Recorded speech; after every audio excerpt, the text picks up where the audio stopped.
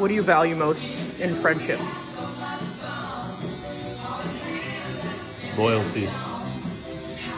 What do you value most in your friends? What do I value in a friend? Um,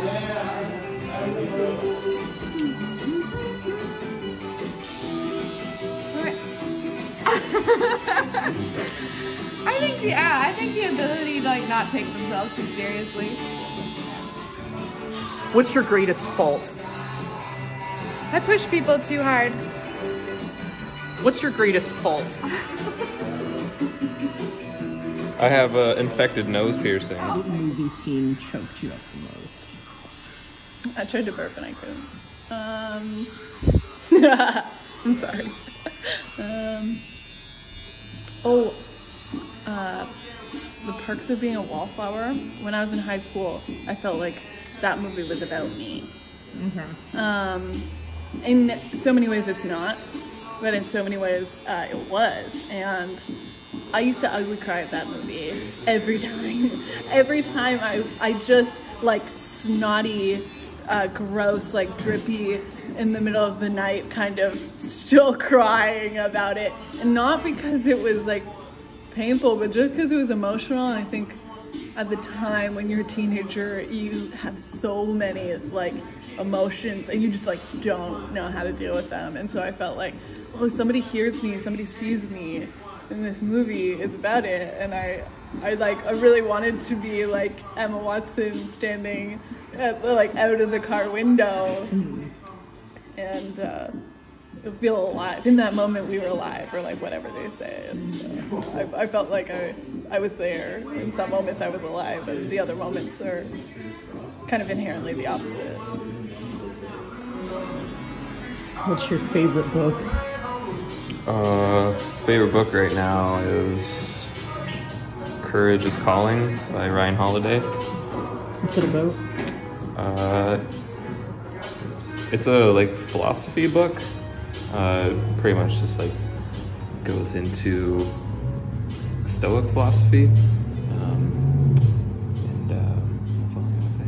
What do you spend the most time thinking about? What do I spend the most time thinking about? Uh, actually, I always think about haircuts. I had a feeling that was going to be the answer. What's your favorite book that you've read? Favorite book?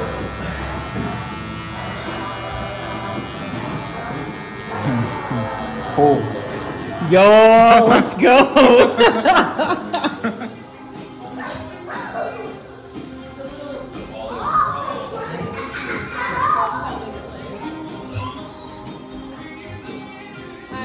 Find a remote that can rewind, fast forward, stop, and start time. What do you do with it?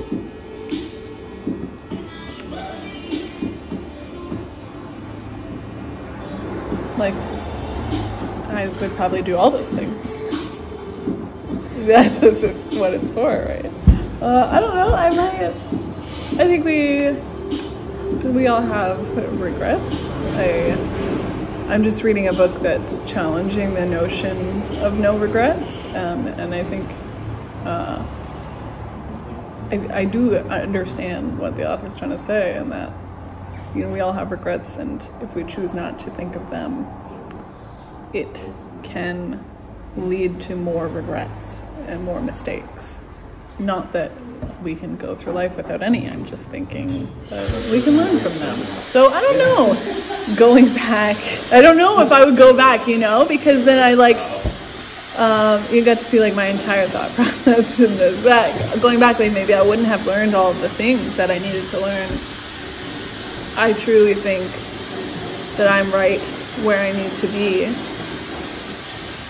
There are 90 days where I'm not happy about it, but I do think that I'm right where I need to be. And I feel um, like something above lucky that I get to experience it. Like whatever it feels like. Um,